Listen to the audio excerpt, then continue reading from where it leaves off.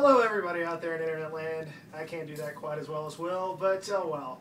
I'm Executive Chef Brad Daniels here at Croissants Bistro and Bakery, and we're going to show you how to brine a turkey for your holiday Thanksgiving.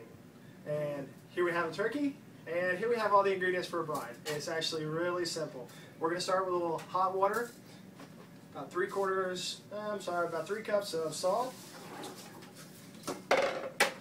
Very precise measurements about four cups of brown sugar, and this is my own version, but it's a little different. About a cup of soy sauce. If you have a gluten allergy, skip this one.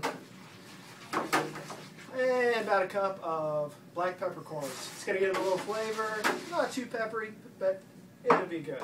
And bay leaves, or as my dad says, some of those oak tree leaves. Doesn't taste the same though. Now, to cool that off before we put our turkey in, we're going to add a little ice water.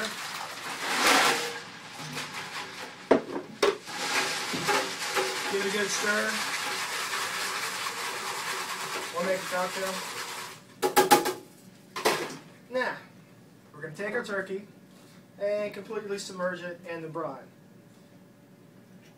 There we go. That's the easy part. You want to wait about at least 12 hours, preferably 24. Leave it in the brine so it all balances out, gets all that nice, good flavor in there. And we'll have the recipe for this uh, down below the video. Thanks for coming.